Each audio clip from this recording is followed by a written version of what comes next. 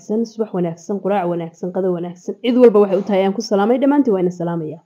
Waxaan doonaya inaan kula wadaago qodobo yaryar aan is leeyahay qofku hadduu markasta dabaqo ama ku dhaqmo inay noloshiisa waxyaalo badan ka bedeli doonto.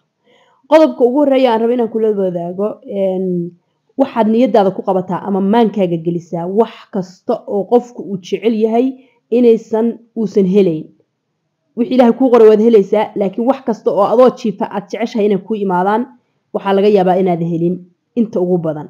Laakiin waxyaalaha la hubo waxaa ka mid ah wax kasta oo qofku uu u dadaalo oo juhdi ku bixiyo oo uu har iyo hameen ku taamo oo maalin kasta ku soo kaco niyadiisa aan ka bixin oo maaragta si maalinlaa ugu dadaalo ilaahay hadduu u qoro inta badan qofku inuu heli doono insha allah.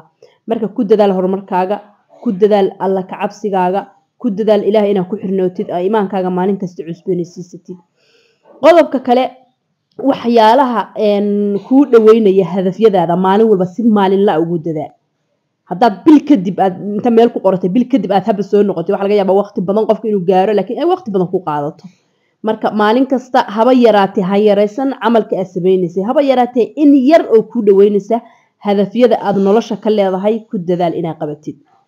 Waxaad kaloo ku dadaashaa oo dad badan aysan ogeyn samirka. Waa meelaha laysku dhaafay samirka iyo niyadda wanaagsan iyo adkaysiga. Waa geesinimo qofku inuu samro waa geesinimo qofku inuu adkaysto waa wax wanaagsan qofku inuu niyadiisa hagaajiyo oo rumaysan yahay. Wax kastoo wanaagsan insha allah maalin inay imaan doonaan insha allah waxyaalaha kuu dhaweynaya hadafkaaga waxaa ka mid ah waxaa ka mid a inuu qofku maaragta uu adkaysi lahaada saa inii sheegay saad hireerka nolosha iyo waxyaalaha ay nolosha kugu tuurayso maalinba qofka biniaadanka xaal ayuu ku jiraa marka qofku inuu adkaysi sameeyo adkaysi muujisto uu geesinimo muujiyo waxyaalaha qaarkood uusan niyad jamin.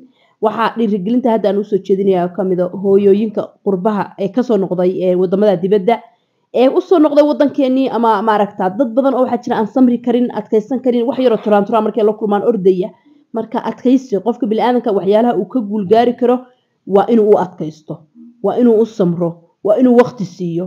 Marka taasna walaalayaal waa dhiirigelin insha allah waxyaalaha kale oo qofka noloshiisa kor u qaadi kara ama maalin kasta qurxin kara ama ilaahay subxaana watacaala maaragta waxyaalo badan uu nolosha kaleeyahay ugu fududeyn kara. Waxaa ka mid a walaalayaal sirtaas oo aysa dad badan ogeyn qofku haba yaraatee haba yaraatee wuxuun qur'aanka kamida inuu maalintii akriyo xilliguu rabaa ka akriyo subaxii horebaa wanaagsan marka salaada subax tukatid laakiin inteena badan hooyoyo ayaa iskana waxa laga yaaba ilmaha quraac subaxina u diyaarinayno inaa maaragta marmarka qaarkood la mashquulsan yahay.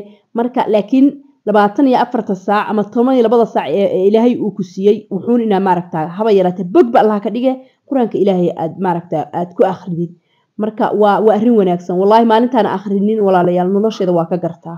Maalintaan qur'aanka ilaahay akhriyana gebigayguba farxad waxaan dareemaya nashaad dheeraada inaan dareemayo ama firfircooni aan howlahaygii waxayga ku gudageli karo.